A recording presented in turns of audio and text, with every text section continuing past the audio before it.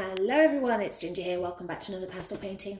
Doing a bit more of a kind of abstracty landscape I think today, just because I fancy doing something different. So, first thing I'm to do is map out what we're doing. Now, as you can see, this is a slightly different paper to normal, and for those that are fairly au fait with what I do, you'll know that this is Velour, one of my most absolute hated uh, papers. I absolutely hate working with it.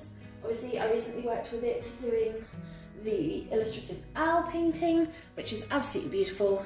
So you can work with it, but it's hard work. You have to have some, you know, pretty fairly specialist tools to work with it. And then on top of that, you're never really going to get a clean, sharp, defined line just because of the way this paper works. So yeah, if you're fine with that kind of slightly soft romantic look, then this paper does wonders. Now, I am going to try and use a minimum amount of um, mark making, colours. I just want to keep this simple. So, thinking what we do, well we know our usual skyline, so we're going to have a skyline. So what do I want to do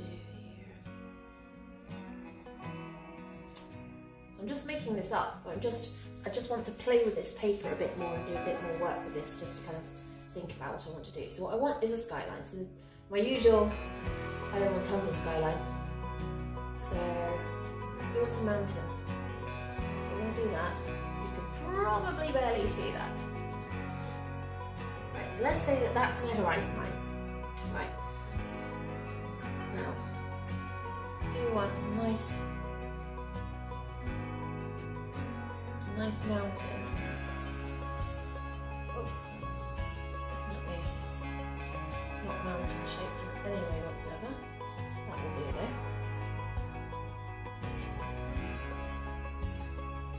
And then say further mountain in the distance is more blue, I think. So going like that. Now, plenty of locks, so let's do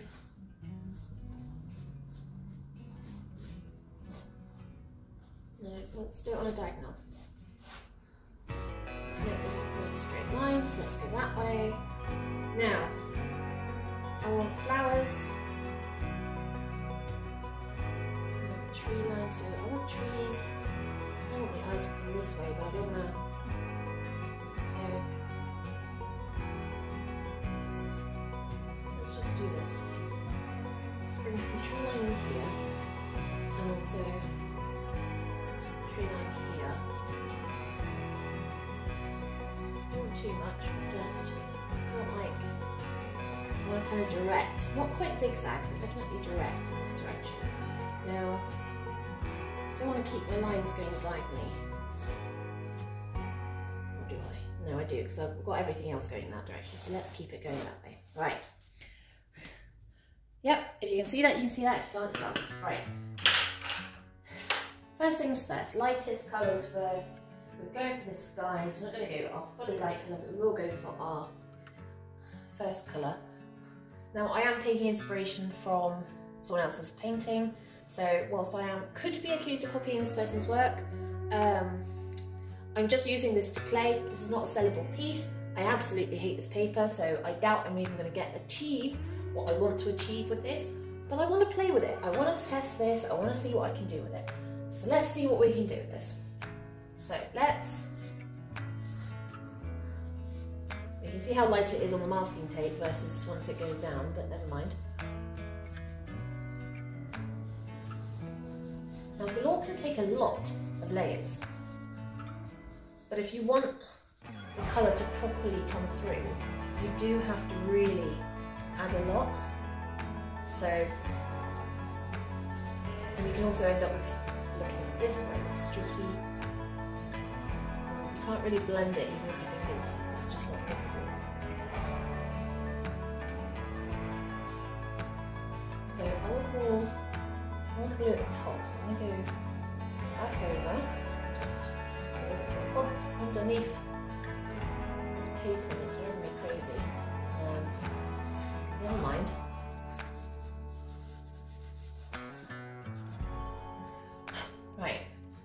sky blue, I'll add some more white in. Now this water, we want to add, bear in mind that sky should reflect this. We've got this, these are beautiful. Um, here, I want to take this right up to this edge.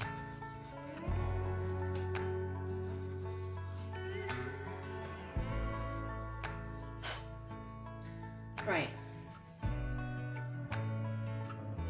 Now, I want it lighter here, darker here, which is what we always do. So I'm just gonna make some random marks. Because also this is coming down you can see the pencil has flattened the flocking on the paper. So you end up with these lines, but if you put enough down, they disappear eventually. Right, looking suitably red at the moment. Now to put our lighter blue down for our sky.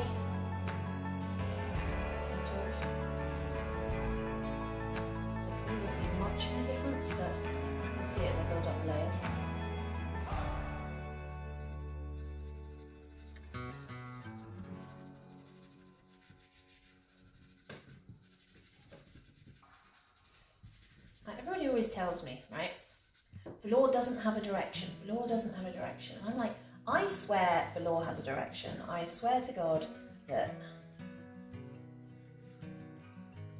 if you go in a certain direction, it, the pastel grips better than other directions. But a lot of people say that's not the case. I don't know anymore. What I can tell you is I don't like this paper. So you see we're kind of building up where we want. There it is. Lighter again. This is our blue white. This is a it's got violet in it. Now this is a blue earth pastel, so therefore it is super super soft and it will adhere to this paper a lot better than some of my other ones. Certainly like the Rembrandt's no chance. Um,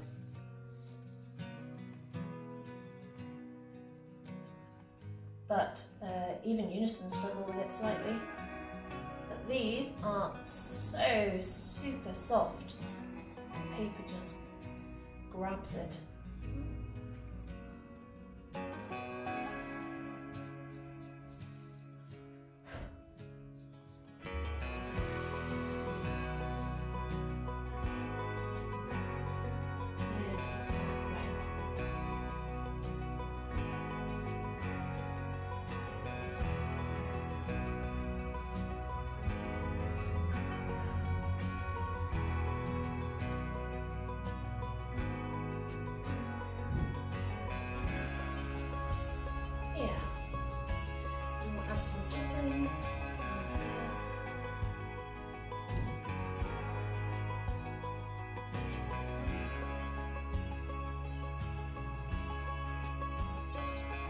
Adding marks and, telling it directions I want things to go. Okay, so we've got sky. Now let's work on some mountainish. So, what a nice blue. I'm probably to add some grey in as well.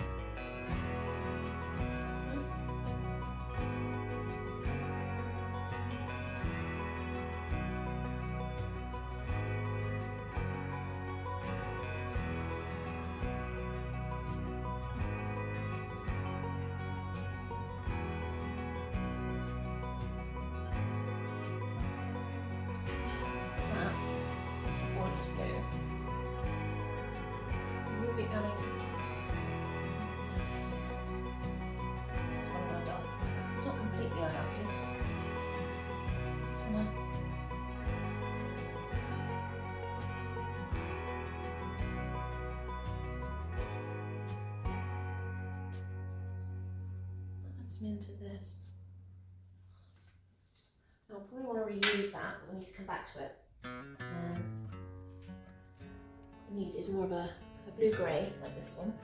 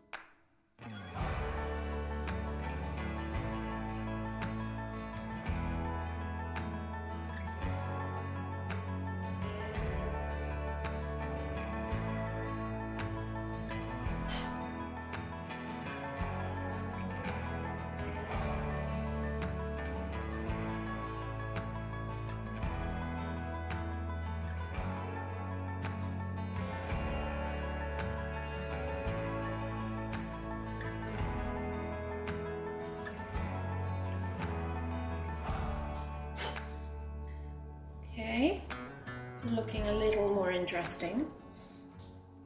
Now I'm going to get some this darker colour down here.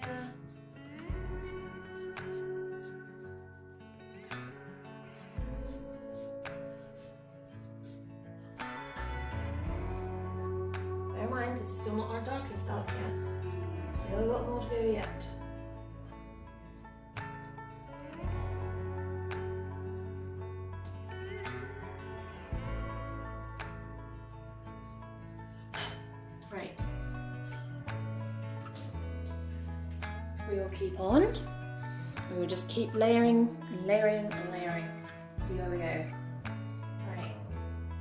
Go back towards more of my favourite blues. I'm going to start being more of a. This is going to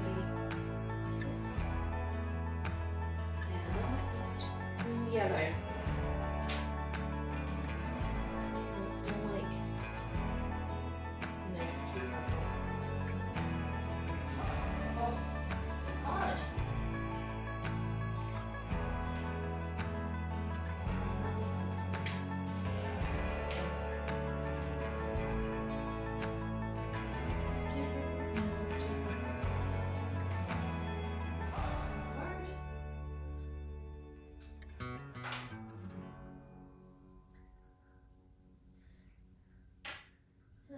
Want, I just can't find it.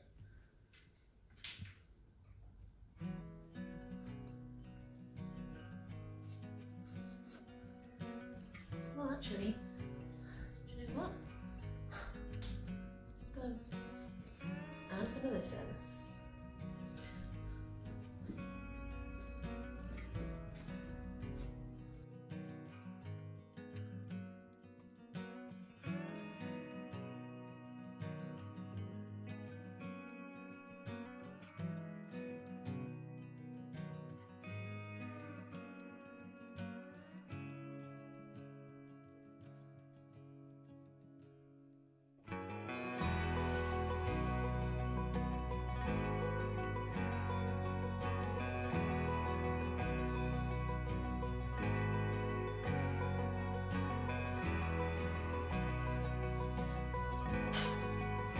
Yeah, at that. How blue is that? Alright. Let's get some more interesting colours in, shall we? I want to get some greens in and I want to get some really dark blues in. So first is find my dark blues. Decent dark dark blues. One fits.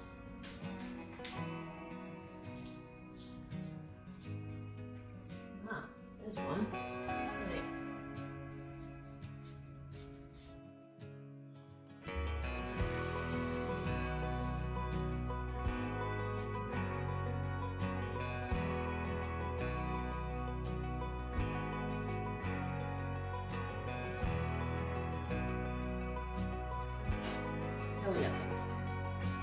Slightly weird, but that's fine. You guys see what I mean about it being soft and fuzzy?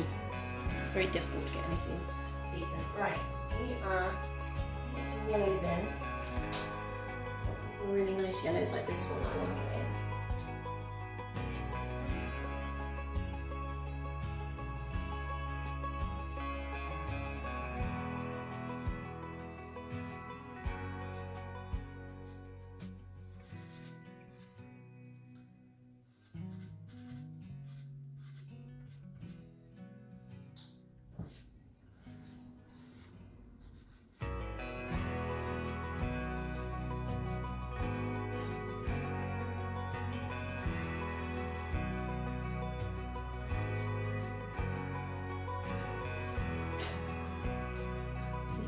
When it comes to yellows. So.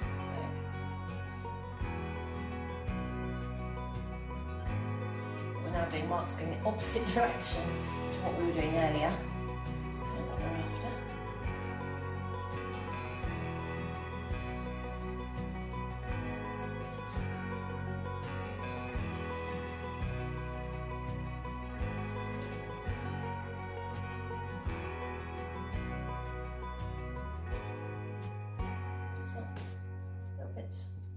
Showing here and there.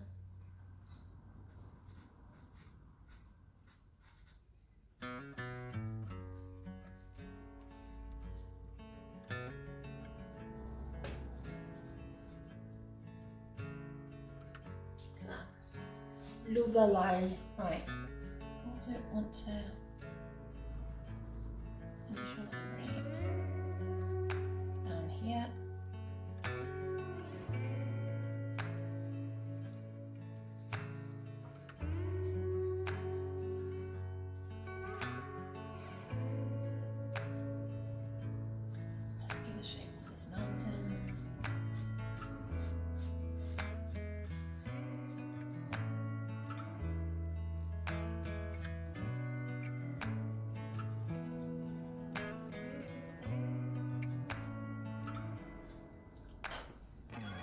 So, I've got distant mountainage, we've got water, we've got a sky. I'm slowly, slowly bringing some of this in.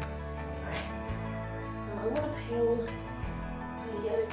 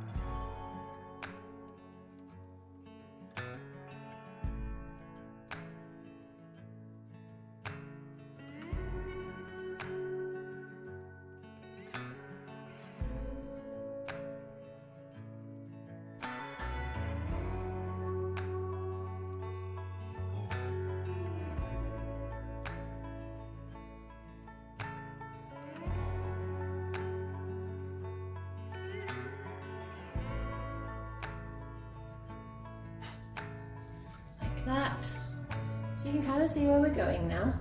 Nothing too complicated,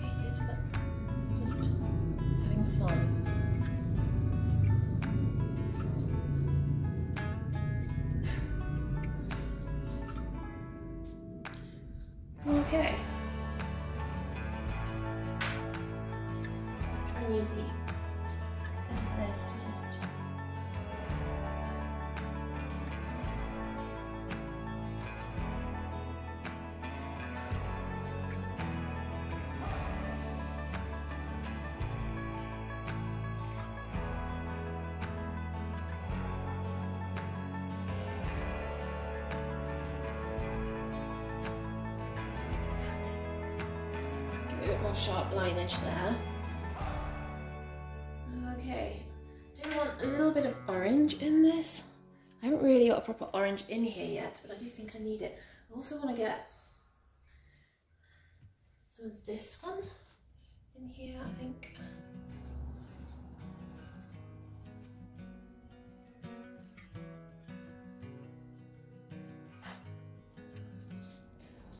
Oh yeah, that's better. I like that.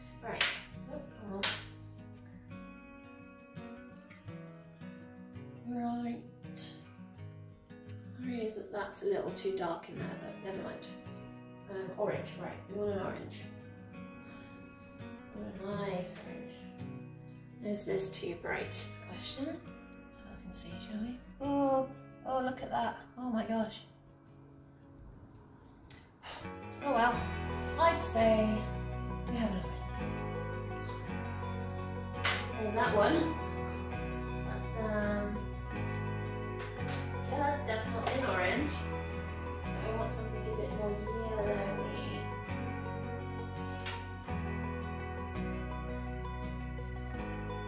Jeez, I actually don't think I've got an orange between all them. There's a, an easy orange between all them. This might be, this might be the closest I've got.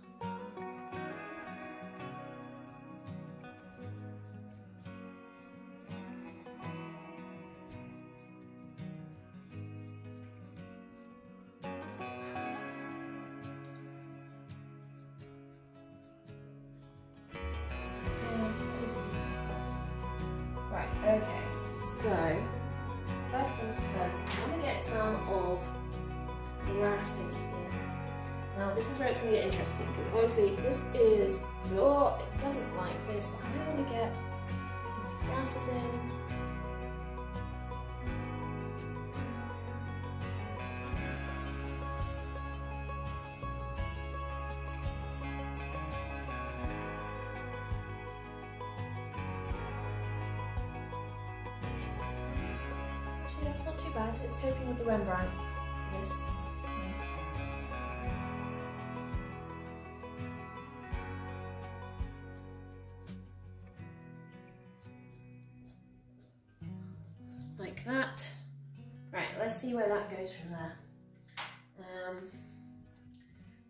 Do you want some darker ones?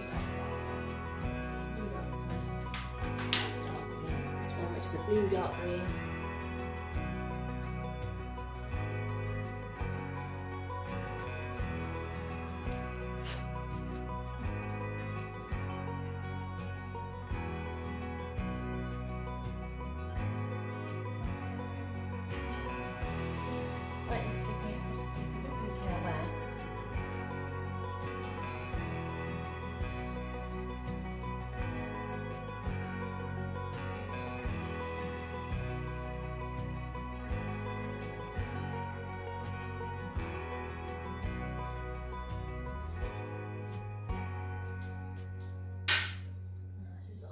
Really light yellow.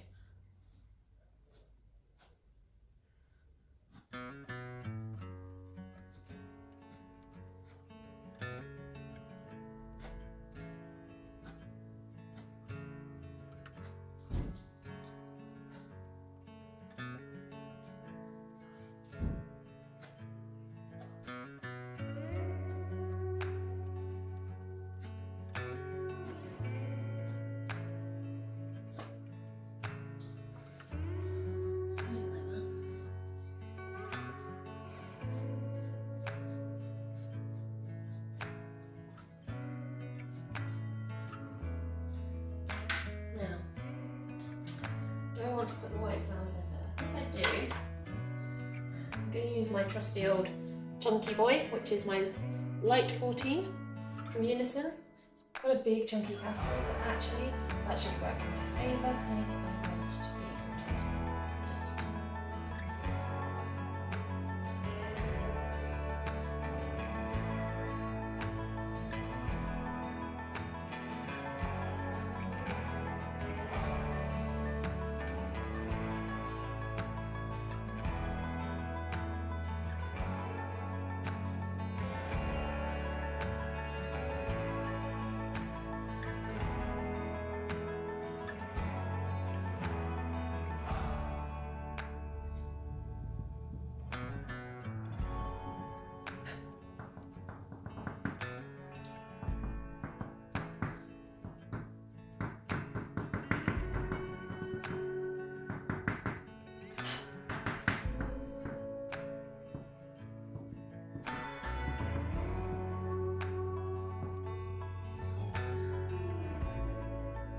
How are looking?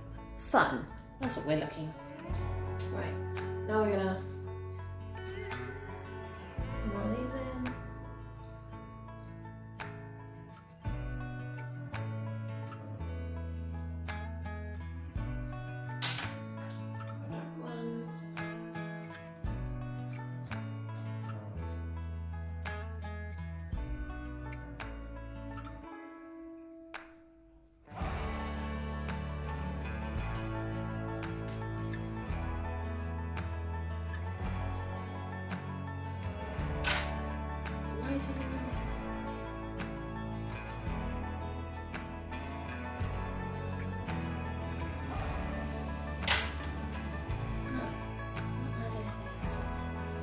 Question.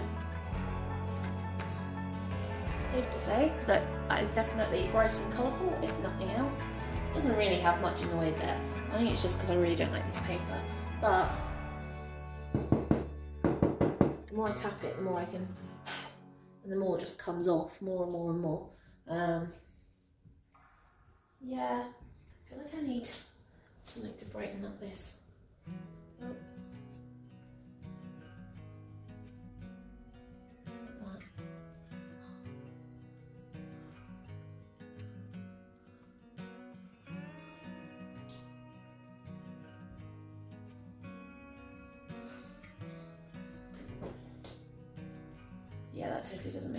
Sense, but never mind.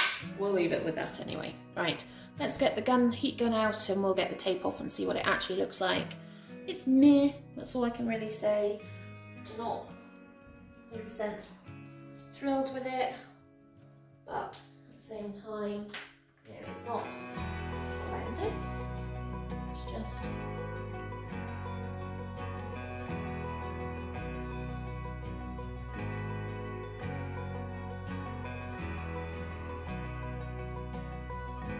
Okay. Yeah, still don't like it. Still, it is one of the interesting things about velour is that it is good for mark making, but it's still nowhere near as crisp as what you'd get from, for example, Pastelmat. And I know if I'd done this on Pastelmat, the outcome of this would look um, a lot cleaner and a lot crisper. Like I said, if you like the more romantic feel, um, it's great for that kind of soft edge romantic feel. Um, I know a lot of people use velour for pet portraits as well. Um, use you can use pastel pencils on it, but I tend to find it flattens the. Um, I'm not going to call it tooth, as it's not tooth, it's fluff. Um, but it, it kind of flattens the flocking on the paper, and therefore it you end up with scratch lines which are not easy to go over. So um, it has its place and it can be really useful depending on what you want to do with it. And one of the things I've always said and stress cannot stress enough is you have to pick the right paper for you. If you're happier with a really gritty sanded paper where you can see you get a lot of texture, that's great.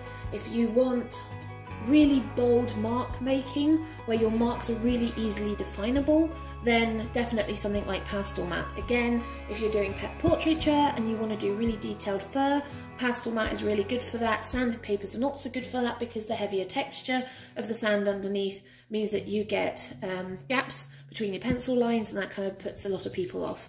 Um, I like sanded. I like working with sanded paper because it has enough tooth to coat with multiple layers. When you're doing landscape work, you can get enough of a defined edge to get what you're looking, but as well as allow you to do blended edges where it softens. So you can do a mixture of both blended and hard, ed hard edges.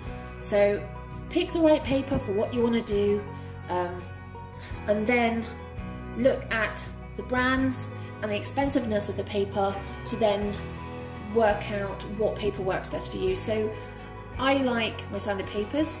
Um, if I want to spend a lot of money on a sanded paper, then I'd probably go for more of the Canson um, or Fishers or UART. And if I wanted to go on the cheaper end, I'd probably go for Colourfix, which you've seen me using a lot recently, um, and or making my own. Um, which are great, you know, there's the good cheap options. So if you want to practice and you want to play, um, looking for cheaper options, this velour, um, I've got the Vic stuff, which is what I've got. This one I got cheap off Amazon, so it's not the best quality, but it was a lot cheaper than the Vic one. Um, and therefore, you know, if you want to try and play with velour, then I would go down that route first before looking at the more premium paper. And you'll notice a difference. You'll notice a difference in um, how the paper grabs your pastel, how the pastel lays on the paper, how the colour stays on the paper as well, whether it's light fast paper, whether it actually is archival enough that it holds your pigment but doesn't actually deform the colour in the pigment, um, whether you can do wet bases on. Velour, for example, please don't go near it with water. Um, the Sennelier sanded paper, sanded card, uh, it doesn't take water either. As soon as you add water to that paper, this, the glue that binds the sand on disintegrates and all the sand comes off. So definitely don't recommend it. Anyway, that's all for now. I hope you guys had a bit of a laugh with me doing this one. Um, it's not perfect, but it is pretty and I love the bold choice of colours anyway. So, ta-ta for now and I will see you all soon.